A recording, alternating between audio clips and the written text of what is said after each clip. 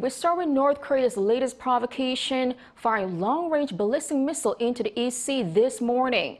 This comes as the regime has been sending warnings against the U.S. for a spy plane allegedly intruding the North's exclusive economic zone. We have our Choi Min-jung on the line with the latest. Min-jung, what can you tell us?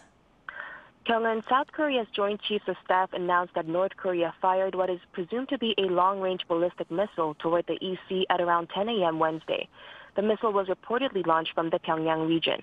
This is the North's first ballistic missile launch in 27 days, and the launch comes a day after North Korea threatened to take military action after the regime accused the U.S. of, quote, illegally intruding into the sky above its economic exclusive zone with a spy plane. Kim Yo-jong, the sister of the North Korean leader, had warned the U.S. that it will face a very critical flight if it continues to violate the North's airspace.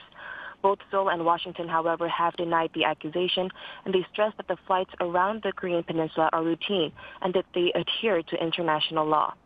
Following Wednesday's launch, South Korea's military said it is maintaining a full readiness posture in close cooperation with the U.S.